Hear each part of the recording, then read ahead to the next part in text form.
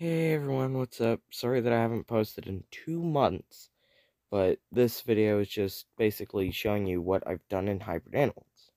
Because why not? I'm bored. It's been two months. And yeah, that's about it. Let's just get straight into the video.